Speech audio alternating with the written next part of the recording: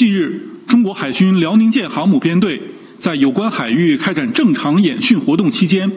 美马斯廷号驱逐舰持续对中方舰艇编队近距离侦察，严重干扰中方演训活动，严重威胁双方舰艇航行安全和人员安全，性质十分恶劣。中国海军舰艇对美舰予以警告驱离，中国国防部已就此向美方提出严正交涉。美县政府就职以来，美军舰在中国当面海域活动频次比去年同期增加逾百分之二十，侦察机活动频次超百分之四十。美方频繁派遣舰机赴中国周边海空域活动，推动地区军事化，威胁地区和平稳定。中方对此坚决反对。我们敦促美方严格约束一线部队，遵守中美海空相遇安全行为准则、